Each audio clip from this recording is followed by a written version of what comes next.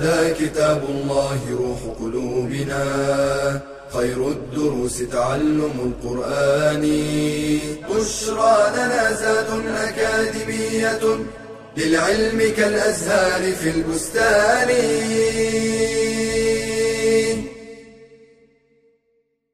السلام عليكم ورحمة الله وبركاته. Alhamdulillah والصلاة والسلام على رسول الله.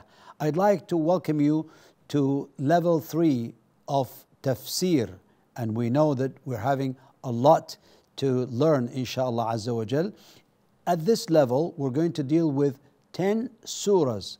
And these surahs from the part of Amma, the 30th part of the glorious Quran, which includes the following Surah Al Inshiqaq, Surah Al Buruj, Surah Al Tariq, Surah Al A'la, Surah Al Ghashiyah, Surah Al Fajr, Surah Al Balad, Surah Al Shams, Surah Al Layl, and Surah Al Duha. So these 10 surahs will be covered, inshallah, with, uh, as you know, the uh, reason for revelation, any hadiths uh, concerning the uh, this uh, this uh, any any of the surahs, and also talking about the commentary and the benefits from this, and of course you'll go through the activities. So uh, please be ready and be serious for taking this uh, level, inshallah, as you did in the previous levels, and inshallah continuing with this and the other subjects as well.